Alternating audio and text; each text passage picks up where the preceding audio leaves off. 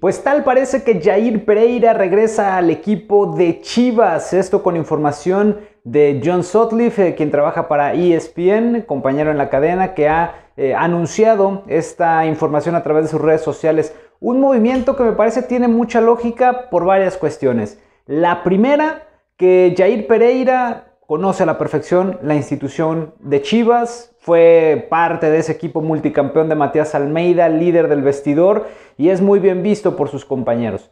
Después, la segunda que Víctor Manuel Bucetich lo conoce bastante bien del equipo de Querétaro, lo tuvo, lo dirigió ahí, fue su defensa central en esa institución y ahora que vino todo el cambio de dueños y esta reestructura que sufrió el equipo de los Gallos, Jair eh, no renovó contrato y quedó fuera, entonces eh, eh, pues ahí vendría otro punto del por qué, ¿no? Lo conocen y además le saldría gratis a Chivas. Después también porque Jair es alguien que todavía puede aportar me llama la atención porque el Guadalajara tiene de momento cuatro centrales, ¿no? El caso de el Tiba, el caso de Mier, eh, Pollo Briseño y Alexis Peña, que igual Alexis ni siquiera es luego convocado a los partidos.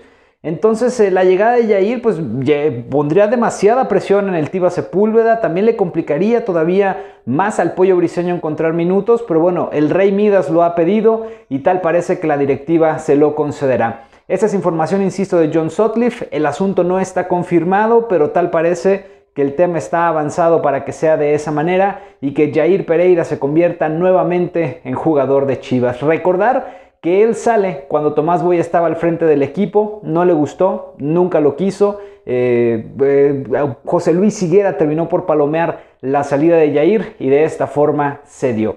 Pero entonces simplemente es cuestión de esperar para ver si se hace oficial pero al menos por lo que dice John Sutcliffe, que definitivamente le creo, Jair será jugador de las Chivas. Hasta aquí dejamos este video, muchas gracias por el favor de su atención, síganse suscribiendo, comentando, compartiendo, dando like y nos vemos en la próxima. Soy Jesús Bernal, adiós.